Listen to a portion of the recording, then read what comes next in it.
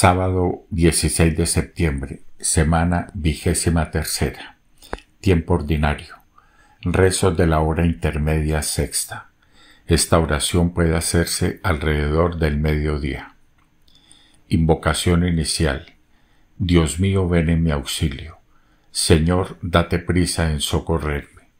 Gloria al Padre y al Hijo y al Espíritu Santo, como era en el principio, ahora y siempre, por los siglos de los siglos. Amén. Aleluya. Salmo 122. Antífona. Tú que habitas en el cielo, ten misericordia de nosotros. A ti levanto mis ojos, a ti que habitas en el cielo, como están los ojos de los esclavos fijos en las manos de sus señores, como están los ojos de la esclava fijos en las manos de su señora, Así están nuestros ojos en el Señor Dios nuestro, esperando su misericordia. Misericordia, Señor, misericordia, que estamos saciados de desprecios. Nuestra alma está saciada del sarcasmo de los satisfechos, del desprecio de los orgullosos. Gloria al Padre y al Hijo y al Espíritu Santo, como era en el principio, ahora y siempre, por los siglos de los siglos. Amén. Tú que habitas en el cielo, ten misericordia de nosotros.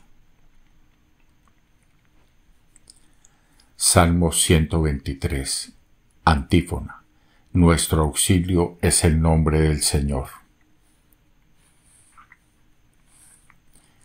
Si el Señor no hubiera estado de nuestra parte, que lo diga Israel, si el Señor no hubiera estado de nuestra parte cuando nos asaltaban los hombres, nos habrían tragado vivos, tanto ardía su ira contra nosotros.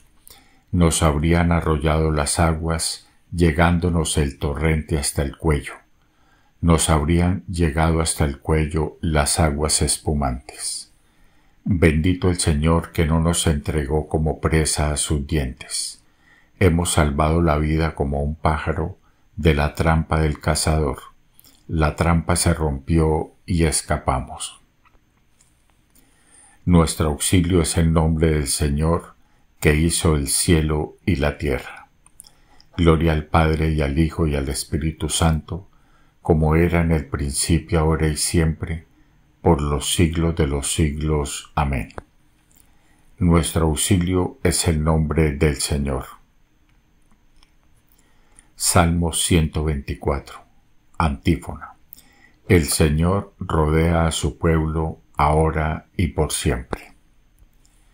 Los que confían en el Señor son como el monte Sión, no tiembla, está asentado para siempre.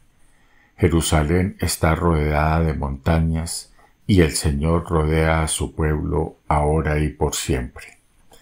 No pesará el cetro de los malvados sobre el lote de los justos, no sea que los justos extiendan su mano a la maldad. Señor, concede bienes a los buenos, a los sinceros de corazón. Y a los que se desvían por sendas tortuosas, que los rechace el Señor con los malhechores, paz a Israel. Gloria al Padre y al Hijo y al Espíritu Santo, como era en el principio, ahora y siempre, por los siglos de los siglos. Amén. El Señor rodea a su pueblo ahora y por siempre. Lectura de la epístola a los Gálatas. No busquemos la vanagloria provocándonos y teniéndonos envidia mutuamente. Ayudaos a llevar mutuamente vuestras cargas y así cumpliréis la ley de Cristo. Palabra de Dios. Ved qué paz y qué alegría convivir los hermanos unidos, allí manda el Señor la bendición. Oremos, Señor fuego ardiente de amor eterno, haz que inflamados en tu amor, te amemos a ti sobre todas las cosas y a nuestro prójimo por amor tuyo por Cristo nuestro Señor. Amén. Bendigamos al Señor, demos gracias a Dios.